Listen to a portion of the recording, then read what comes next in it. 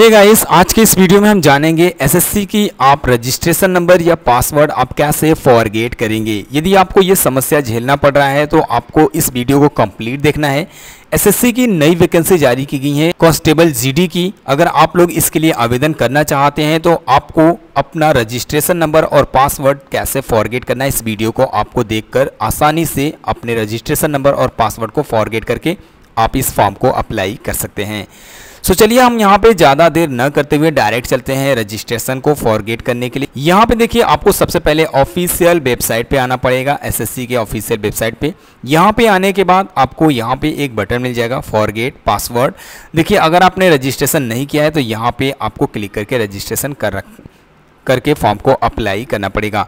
इस पर मैंने वीडियो ऑलरेडी बनाई है कि कैसे आप लोग ऑनलाइन इस आवेदन फॉर्म को अप्लाई करेंगे। वीडियो देखना होगा तो इसी वीडियो के नीचे डिस्क्रिप्शन में हमने लिंक दिया है, आप लोग ज़रूर वीडियो को वॉच कर लीजिएगा। पासवर्ड फॉरगेट करने के लिए यानी कि प्राप्त करने के लिए यहाँ पे आपको फॉरगेट पासवर्ड के ऑप्शन पे क्लिक करना है। क्लिक करने के बाद आपके सामने एक पॉपअप की तरह विंडो डिस्प्ले किया जाएगा। यहाँ पे गाइस आपको सबसे पहले अपना पासवर्ड फॉरगेट करने के लिए परमानेंट स्टेट को सिलेक्ट करना पड़ेगा। सो यहाँ पे आपका जो भी स्टेट है, उसे आप यहाँ पे सिलेक्ट कर लेंगे। उसके बाद यहाँ पे दो ऑप्शन आपको मिल जाएगा, मेल आईडी और मोबाइल नंबर। अगर आपको मोबाइल नंबर नहीं पता है तो यहाँ पे आप मोबाइल नंबर मत लिखिएगा। अगर आपको मेल आईडी नहीं पता है तो यहाँ पे आपको मोबाइल नंबर लिखना पड़ेगा। इन दोनों में से एक आपको लिखना पड़ेगा और वो याद होनी चाहिए। अगर आपको दोनों याद नहीं है तो आप फॉरगेट नहीं कर पाएँगे। ये ध्यान से सुन लीजिए। अगर आपको मेल आईडी पता है तो यहाँ पे सिर्फ़ मेल आईडी भी आप लिख सकते हैं। अगर आपको मोबाइल नंबर पता है तो आप मोबाइल नंबर भी आप यहाँ पे लिख सकते हैं। मोबाइल नंबर आपका चालू होनी चाहिए, क्योंकि एक ओटीपी आएगा, उसी ओटीपी के माध्यम से आप अपने पासवर्ड को प्राप्त करेंगे, या मेल आईडी की भी ओटीपी आएगी। ये दोनों आपका एक्टिव होनी चाहिए। जो भी आपके पास है उसे आप इस बॉक्स में लिख लेंगे। चलिए हम आपको मेल आईडी के माध्यम से दिखाते हैं कैसे आप मेल आईडी के माध्यम से अपने पासवर्ड को फॉरगेट करेंगे। सो so, यहाँ पे हमने मेल आईडी लिख दिया है। मैं यहाँ पे मोबाइल नंबर नहीं लिख रहा हूँ क्योंकि मुझे मोबाइल नंबर नहीं पता है। मैंने दोनों ऑप्शन के बारे में बता दिया है। आपको जो भी पता हो वो आप यहाँ पे लिख सकते हैं। उसके बाद यहाँ पे आपको एक बटन मिल जाएगा सबमिट का। यहाँ पे आपको क्लिक करना है। क्लिक करने के बाद आपके सामने नेक्स्ट पेज डिस्प्ले किया जाएगा। यहाँ पे आपको एक मैसेज होगा ऊपर an O T P has already has been set generated please use the same O T P या वेट फॉर टेन मिनट्स आपका ये O T P ten minute बाद दोबारा ओ टी पी प्राप्त होगा। एक ओ टी पी जो है, यहाँ पे सेंड किया गया है। आपको अपने मेल आईडी में जाके चेक करना पड़ेगा। यहाँ पे मोबाइल नंबर मैंने नहीं लिखा है, इसलिए मोबाइल नंबर पर ओटीपी नहीं आएगा। मेल आईडी पे मैंने ओटीपी लिखा है तो मेल आईडी पे ओटीपी आएगा। चलिए हम मेल आईडी में चल के चेक करते हैं कि ओटीपी हमारा आया है कि नहीं आया है। ओके okay गाइज़ तो हम अपने मेल आईडी में लॉगिन हो चुके हैं। यहाँ पे अपडेट के ऑप्शन पे हमको जाना है। और उसके बाद यहाँ ऊपर एक मैसेज आया है एसएससी के द्वारा। यहाँ पे देखेंगे portal SSC SSC portal, email OTP यहाँ पे हमको क्लिक करना है तो ओटीपी जो है वो हमको मिल जाएगा। ओके, जैसे ही आप क्लिक करेंगे तो ये ओटीपी देखिए यहाँ पे दिखाया जा रहा है, इसको हम यहाँ से कॉपी कर लेते हैं, और उसके बाद यहाँ पे लाके हम इसे पेस्ट कर देते हैं। एंड उसके बाद यहाँ पे जो कैप्चा कोड डिस्प्ले किया जा रहा है, वो हम यहाँ पे लिख लेते हैं और उसके बाद सबमिट के बटन पे क्लिक कर लेते हैं। जैसे ही गाइस आप क्लिक करेंगे सबमिट के बटन पे तो यहाँ पे देखिए आपको रजिस्ट्रेशन नंबर और मेल आईडी दोनों आपको यहाँ पे डिस्प्ले कर दिया जाएगा। यहाँ पे आपकी रजिस्ट्रेशन नंबर क्या है, वो भी आपको प्राप्त हो जाएगा। मेल आईडी आपको ऑटोमेटिक प्राप्त रहेगा। यहाँ पे आपको एक नया पासवर्ड जनरेट करना पड़ेगा। उसके बाद वही पासवर्ड दोबारा से आपको यहाँ पे लिखना पड़ेगा। आप यहाँ पे एक नया पासवर्ड जनरेट कर सकते हैं और उसके बाद आप लॉगिन करके फॉर्म को अप्लाई करेंगे। यहाँ पे मैंने दोनों ऑप्शन में पासवर्ड को लिख दिया है। दोनों ऑप्शन में जो पासवर्ड लिखना है सेम पासवर्ड आपको लिखना है। जो यहाँ ऊपर लिखेंगे, वही पासवर्ड यहाँ पे लिखेंगे।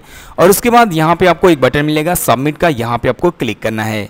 जब आप सबमिट के बटन पे क्लिक करेंगे तो यहाँ पे एक मैसेज आपको दिखाया जाएगा your password has been change successfully please log in in continue आपकी जो पासवर्ड है वो सक्सेसफुली चेंज हो चुकी है। लॉगिन करने के लिए यहाँ पे आपको क्लोज के बटन पे क्लिक करना है। अब चलिए हम यहाँ पे लॉगिन करके आपको दिखाते हैं। यहाँ पे आपको अपने रजिस्ट्रेशन नंबर को लिखना है और जो नया पासवर्ड आपने बनाया है वो आप यहाँ पे लिखेंगे। उसके बाद ये कैप्चर कोड शो हो रहा है। इस बॉक्स में आपको लिखना है। और उसके बाद आपको लॉगिन के बटन पर क्लिक करना है। जैसे ही आप क्लिक करेंगे तो यहाँ पे देखिए बिल्कुल सक्सेसफुली आप यहाँ पे लॉगिन हो जाएँगे और उसके बाद यहाँ पे ऊपर की जो वैकेंसी है एसएससी की नई वैकेंसी जारी की गई है कांस्टेबल जीडी की। आप इसे यदि अप्लाई करना चाहते हैं तो यहाँ पे आपको ऑप्शन मिल जाएगा अप्लाई का। यहाँ पे आप क्लिक करके इस आवेदन फॉर्म को अप्लाई करेंगे। अब जैसे ही अप्लाई के बटन पर क्लिक करेंगे तो यहाँ पे सारी इन्फॉर्मेशन जो है वो आपकी डिस्प्ले किया जाएगा। यहाँ पे आपको अपने सारे इन्फॉर्मेशन डिटेल्स को चेक कर लेना है। कई सारी जो ऑप्शन है वो आपकी यहाँ पे सबमिट नहीं रहेगी तो आपको यहाँ पे सबमिट करना पड़ेगा जैसे में यहाँ पे कहा जा रहा है कि क्या आप ई एक्स सर्विस मैन है अगर आप पहले से सर्विस मैन है तो यहाँ पे यस करेंगे नहीं तो आप नो कर लेंगे उसके बाद आपको नीचे आ जाना है यहाँ पे एज में छूट चाहते हैं तो यहाँ पे यस करेंगे नहीं तो आप यहाँ पे नो के ऑप्शन पे क्लिक कर लेंगे उसके बाद एनसीसी के सर्टिफिकेट है तो यहाँ पे यस करेंगे और एनसीसी के सर्टिफिकेट ए बी ग्रेड की जो भी सर्टिफिकेट है उससे आप सेलेक्ट करेंगे और यहाँ पे वेरीफाई करेंगे नहीं है तो यहाँ पे नो के ऑप्शन पे आपको सेलेक्ट कर लेना है। उसके बाद आपको यहाँ पे तीन एग्जामिनेशन सिटी को सेलेक्ट करना है एग्ज़ाम के लिए। उसके बाद आपको अपने डोमेसिल स्टेट को सेलेक्ट करनी है और उसके बाद उसे वेरीफाई कर लेनी है।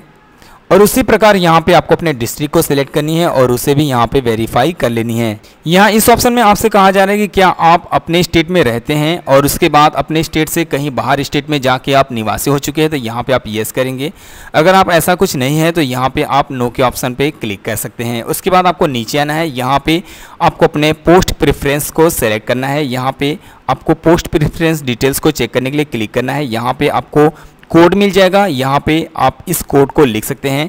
किस कोड में कौन सी वैकेंसी है, वो आप यहाँ पे चेक कर सकते हैं। इसे आप क्लोज कर लेंगे और उसके बाद अपने अकॉर्डिंग यहाँ पे प्रेफरेंस को सेलेक्ट करेंगे। प्रेफरेंस को सेलेक्ट करने के बाद नीचे आपको एक ऑप्शन मिलेगा हाईएस्ट क्वालिफिकेशन का। जितना भी आपकी हाईएस्ट क्वालिफिकेशन है, उसे यहाँ पे आप सेलेक्ट कर लेंगे।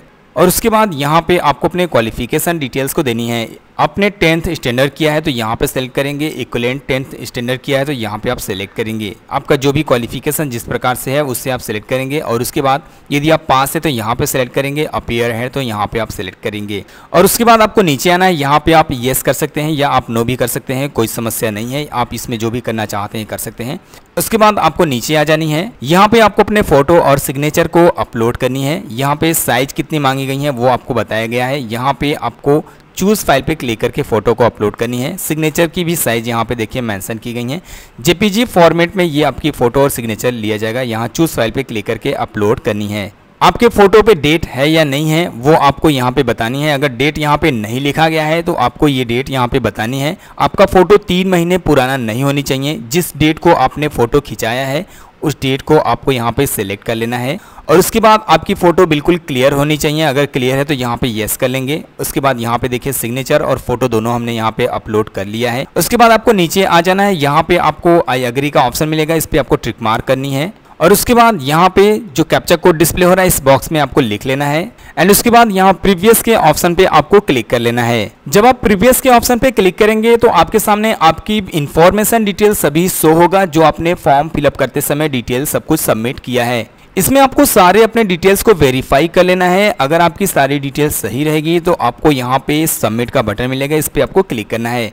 आपके डिटेल्स में कोई भी गलती होती है तो यहाँ पे आपको एक ऑप्शन मिल जाएगा एडिट या मॉडिफाई यहाँ पे क्लिक करके आप इसमें मॉडिफाई कर सकते हैं। जैसे आप सबमिट के बटन पे क्लिक करेंगे तो एक मैसेज डिस्प्ले किया जाएगा कि क्या आप सचमुच सबमिट करना चाहते हैं। तो यहाँ पे आप ओके के बटन पे क्लिक कर लीजिए। जैसे आप क्लिक करेंगे तो यहाँ पे आपको एक मैसेज आएगा application form provisionally accepted do you want to proceed payment आपकी जो फॉर्म है वो कम्प्लीटली सबमिट हो चुकी है। आपको यहाँ पे प्रिंट करना चाहते तो इस ऑप्शन पे क्लिक करके प्रिंट कर सकते हैं। चाहे आप पेमेंट करना चाहते हैं तो यहाँ येस के ऑप्शन पे आप क्लिक करके पेमेंट करेंगे। पेमेंट करने के लिए आपको यहाँ पे येस के बटन पे क्लिक करना है। क्लिक करने के बाद आप किस मेथड से पेमेंट करना चाहते हैं ऑनलाइन या ऑफलाइन आपको ये मेथड सेलेक्ट करनी है। यहाँ पे आपको हंड्रेड रुपीज़ फ़ी पेमेंट करना पड़ेगा। इस ऑप्शन पे आपको क्लिक करना है। जैसे आप क्लिक करेंगे तो आपको रीडायरेक्ट कर दिया जाएगा पेमेंट करने के। ऑप्शन पे ऊपर आपको यहाँ पे जो ऑप्शन मिलेगा नेट बैंकिंग का, आप नेट बैंकिंग में स्टेट बैंक या अदर किसी बैंक के माध्यम से आप पेमेंट कर सकते हैं।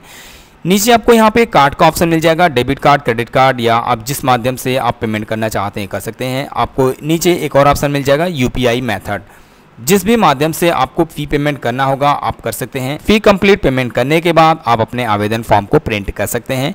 चाहे आप इसे सेव करके रख सकते हैं। सो so, इसके आगे की प्रोसीड बस कुछ नहीं है पेमेंट करना है उसके बाद पेमेंट करने के बाद आप इस फॉर्म को प्रिंट कर सकते हैं। तो हमने इसमें आपको बताया कि कैसे आप अपने पासवर्ड को फॉरगेट करेंगे और फॉरगेट करने के बाद आप कैसे लॉगिन करके फॉर्म को कंप्लीट सबमिट करेंगे। हम आशा करते हैं कि आपको ये जानकारी अच्छी लगी होगी। ये वीडियो पसंद आए तो इस वीडियो को लाइक करिएगा। अपने दोस्तों के साथ इस वीडियो को ज़रूर शेयर करिएगा। कोई सवाल होगा तो कमेंट करके आप पूछ लीजिएगा। मिलते हैं गाइस अगली वीडियो में। बाय बाय जय हिंद